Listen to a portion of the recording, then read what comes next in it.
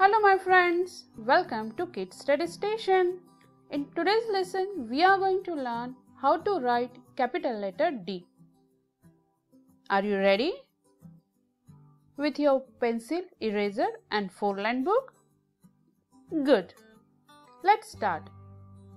This is capital letter D. Can you spot the shapes which we have learned before in this capital letter D?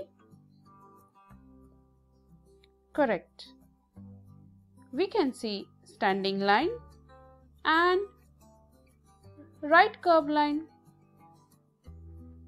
Correct.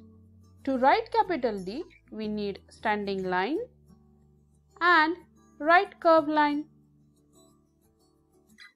Let's write capital letter D on four lines. Put your pencil on first red line and draw standing line till the second blue line. Now from the starting point draw big right curve line and here you got capital letter D. Use your index finger same before and draw capital letter D.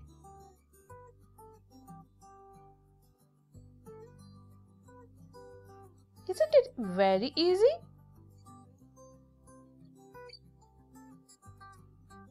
Let's write it again.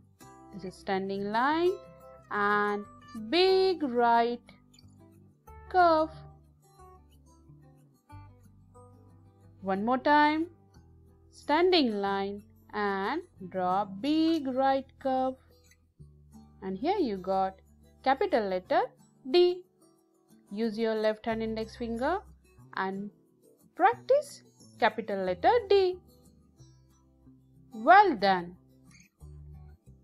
Today you have learned how to write capital letter D. In the next lesson, we are going to learn how to write capital letter E. See you in the next lesson. Till bye.